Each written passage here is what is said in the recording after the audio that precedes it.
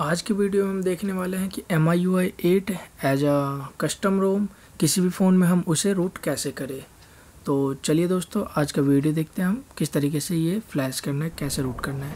तो नमस्कार दोस्तों, मैं शिवांशु सूरज टेकेस में आपका स्वागत करता हूँ और आइए आज का वीडियो देखते हैं।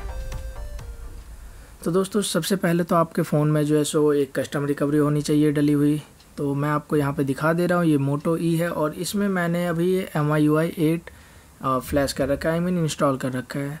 तो इसका भी लिंक आपको डिस्क्रिप्शन में मिल जाएगा कि red sorry Moto G one first gen जो है 2015 में आया था शायद, और इसमें हम M I U I eight कैसे फ्लैश करना है, इसका लिंक आपको डिस्क्रिप्शन में मिल जाएगा। और दोस्तों, आपको जो है, सो ये जो एक लिंक नीचे डिस्क्रिप्शन में मिलेगा सुपर एसयू का, वो डाउनलोड कर लेना है और उसे एसडी कार्ड में रख लेना है और फ़ोन को जो है, सो रिबूट टू रिकवरी कर लेना है।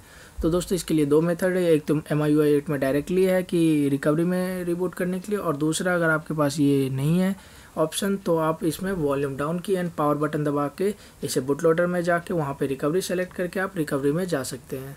तो यहाँ पे देख सकते हैं, मैं अभी रिकवरी मोड में आ गया यहाँ, और इसके बाद आपको यहाँ से ठीक है दोस्तों तो आप यहाँ से इंस्टॉल में जा सकते हैं और जहाँ जहाँ भी आपने स्टोरेज में ये डाल, रखा हुआ है सुपर एसयू का फ़ाइल जिप फ़ाइल वहाँ पे आप इसे लेके जाए और फिर इसे फ्लैश कर दे। जस्ट स्वाइप करना है, ना ही जिप वेरिफिकेशन एंड ना ही रिबूट का टिक करना है। इसके बाद आप अपने फ़ोन को डायरेक्टली रिबूट कर सकते हैं या फिर डायरेक्ट कैश मेमोरी करके भी रिबूट कर सकते हैं। और जस्ट फ़ोन को आप अपना आई मीन रिबूट कर लीजिए और आपके पास में रूट परमिशन होगा और एक और इनबिल्ट आई मीन ऐप होगा सुपर एसयू का। दोस्तों अगर आपका वो कुछ दिक्कत दे रहा है तो आप उसे प्ले स्टोर से जाके अपडेट कर सकते हैं।